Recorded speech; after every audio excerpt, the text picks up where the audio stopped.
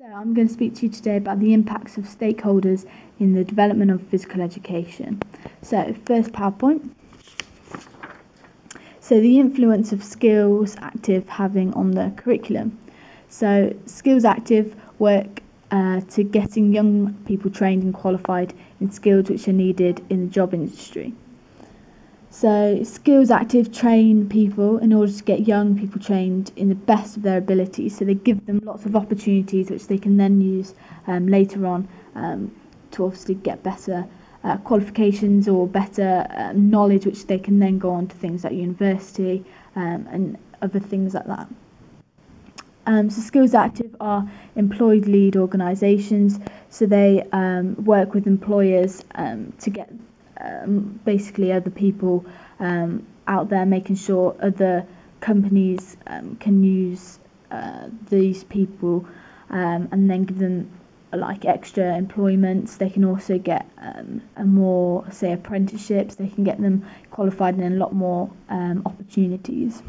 Skills Active run funded programs for young uh, adults, children to engage in, ranging in all different areas. So, Skills Active work in all over the country. They're working in uh, the heart of London. They're working all the way up in Scotland as well.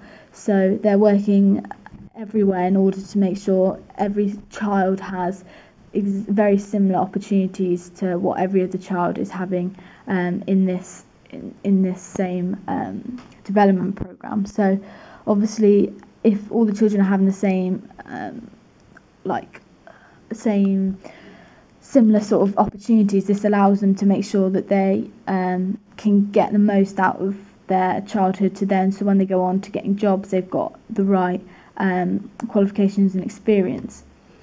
So the next slide is Sports England. So Sports England are one of our national governing bodies which help fund projects to all different kinds around the country. So they um, obviously picked different uh, projects to work on and then help with funding and getting all different kinds um, of projects as well. They don't just focus on uh, certain types of projects, they work um, for all different types.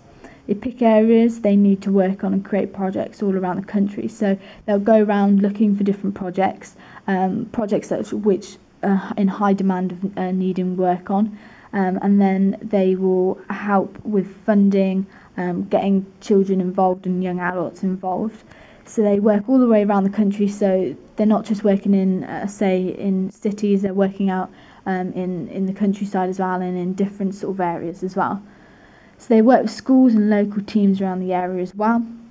So working with the schools um, helps with um, getting children involved in sports making sure that children um, know the sort of benefits which um, that can lead to. So having a better social life. So um, if people are struggling with being bullied or anything like that, the social aspects of sports can really help with children um, getting out of, of that situation and feeling comfortable.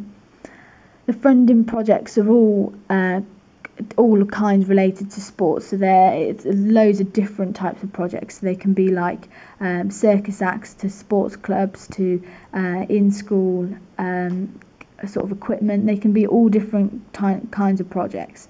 Um, this just allows children to get the most out of um, their education, but also for when they're not in school, um, they can also get the most um, out of sports as well.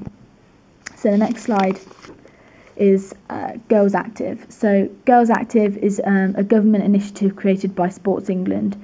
Um, obviously, the main project is to really get girls involved in sports, as the percentage of girls participating in sports has dropped compared to boys over the recent years. This is mainly because um, more boys um, are associated with sports compared to girls. There's not really enough role models, um, or girls are finding that it's really hard to get into sports compared to boys.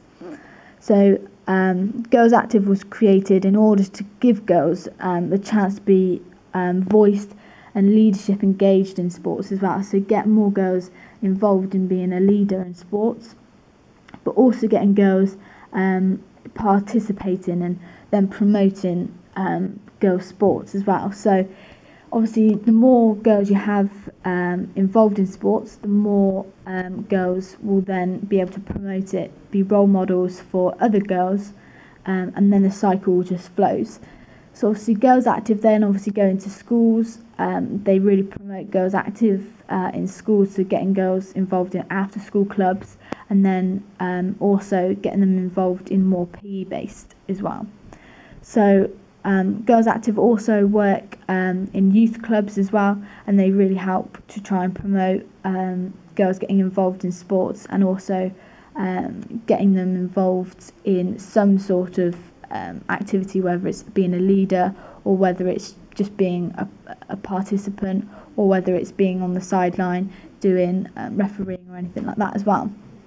Girls Active also look at um, getting girls in a social aspect, so um, getting them socialising with different um, people around. This is, they're also look at hopefully trying to cut down on bullying, um, as girls bullying is quite a high um, percentage in Britain. So they also um, are looking at getting girls feeling secure as well. So self confidence is really improved by sports and also um, with security, as in they're off the streets, they're in a group of um, other girls, and they feel like they could talk to anybody as well. So if they have any issues, um, they can talk to um, whoever they're in a camp with, or if they're in a school, they feel like they're able to talk to them.